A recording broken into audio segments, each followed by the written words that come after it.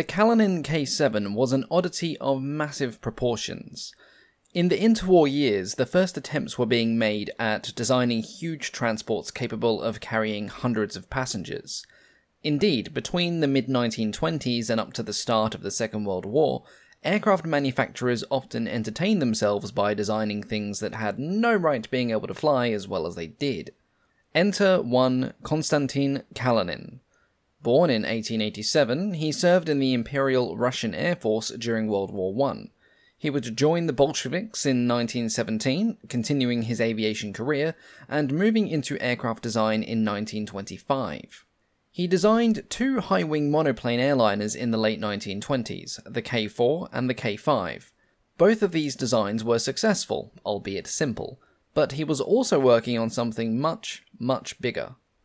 Kalinin had worried that he would not be able to sell his design to the relevant persons in the Soviet government, he was concerned that it would fly in the face of certain egalitarian views within the party, and with somebody as paranoid as Stalin at the helm, that concern could prove fatal. However, he persevered, and it was acknowledged that an aircraft so vast and imposing could have wonderful propaganda value, providing it worked. To sweeten the deal, Kalinin also discussed the possibility of the aircraft being used for military use as a bomber, and the administration was sold. Work began on the K7 in 1931 and took almost two years to complete, with the experimental prototype deemed ready for testing by mid 1933.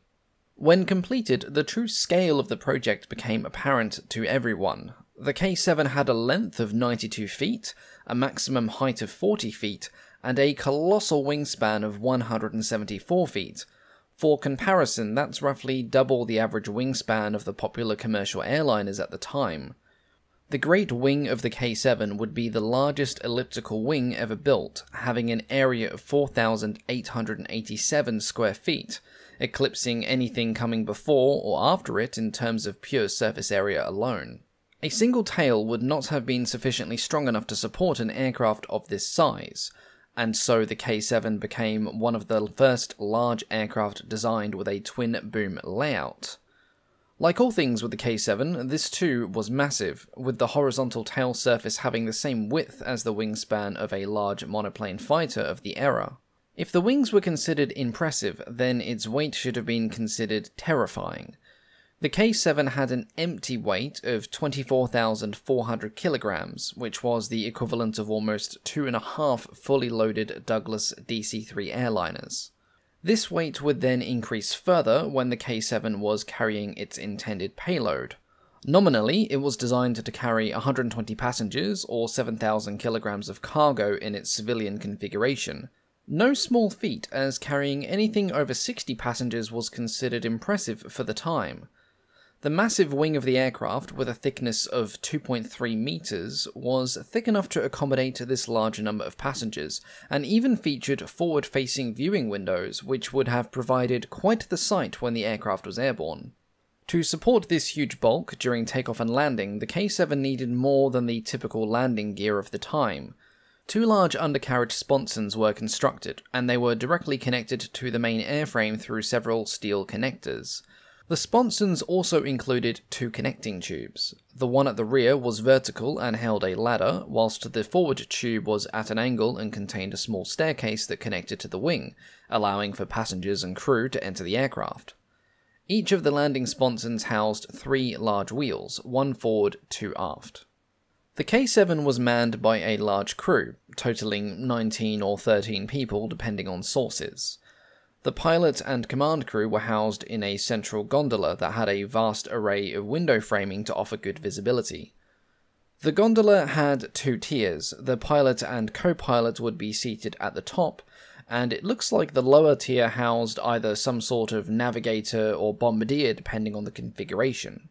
Aside from the basic details, more in-depth information on this aircraft is incredibly sparse, so I will not absolutely state that the lower level was used for those purposes, but it is my educated guess on the matter.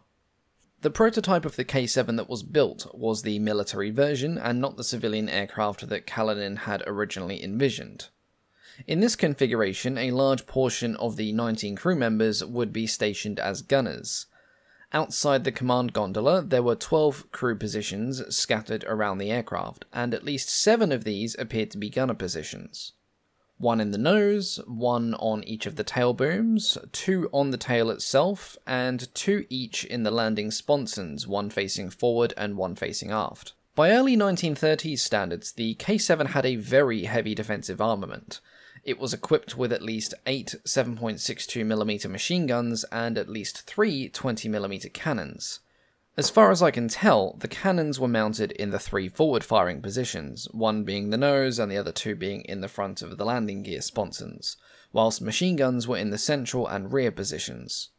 Gun for gun, this meant that the K 7 had more firepower than any other bomber at the time, and along with its sheer size, would have made it a very tough nut to crack, as almost all aircraft at the time lacked cannons in their main armament.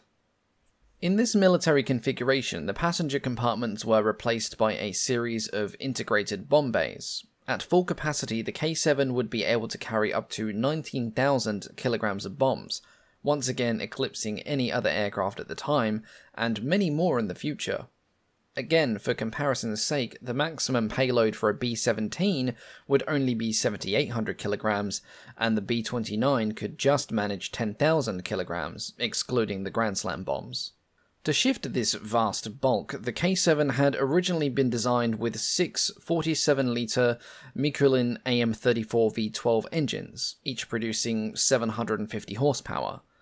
They were housed in three nacelles on the leading edge of the wing, on either side of the cockpit.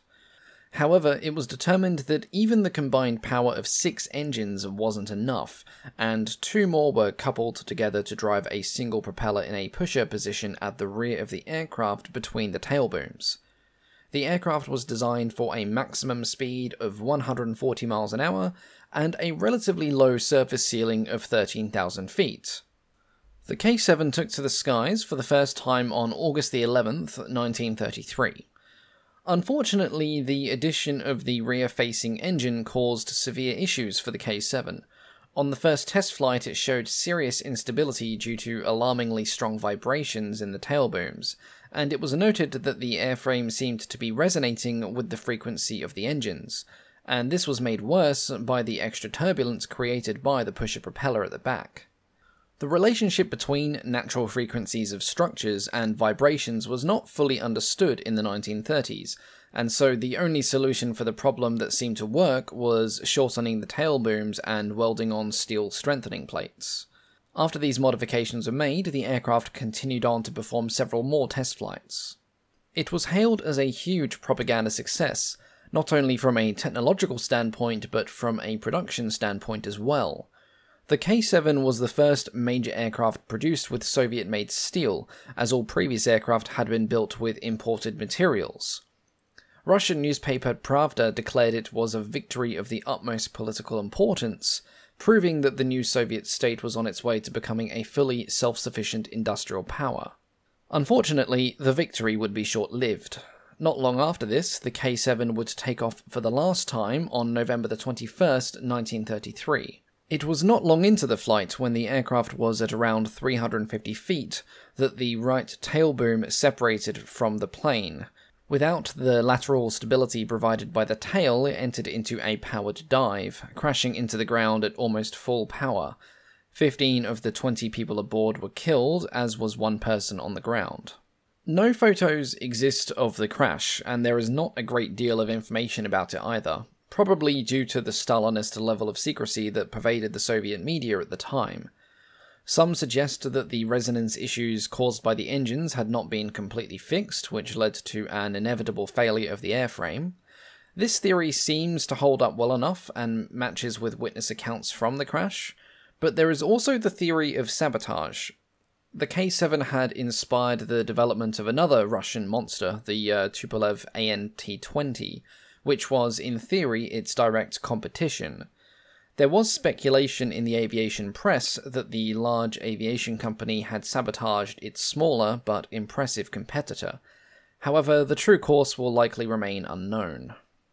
Two more K7s had been ordered, but the project was cancelled and the prototypes scrapped in 1935. Konstantin Kalinin would go on to design other aircraft, but he would never eclipse his grandest design. By the late 1930s, he had gotten on the bad side of Stalin, and he was executed as an enemy of the state during Stalin's purges in 1938. The K 7 is an aircraft that we really don't know much about, but I would just like to point out a rather large myth that has developed around this aircraft over the years. The myth about the K7 was that it was somehow designed to be equipped with the heavy guns found on a naval warship. No doubt this was started by this photoshopped image that can be found readily on the internet. Despite its insanity, this idea has somehow caught on in certain circles. Now, this is a completely unrealistic design. The weight of just one of the two turrets you see here would be enough to ground the aircraft and prevent it from taking off at all. Even then, the recoil of firing six 250mm guns on an airframe like this would cause catastrophic structural failure after the first discharge. The ability for the K7 to be able to carry its theorized bomb load of 19 tons is also questioned. For its size, it's theoretically possible to fit that weight of bombs in the aircraft, but there are many who doubt the aircraft's ability to actually lift said bombs off the ground. The K7 struggled enough in test flights, and that was with only a few extra tons more than its dry weight, let alone 19 tons. In the end, there just isn't enough information readily available.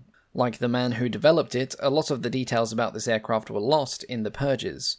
All we are left with is a handful of grainy photos and sketches, along with a humbling sense of wonder that this giant aircraft took to the skies only 30 years after the Wright brothers' first flight.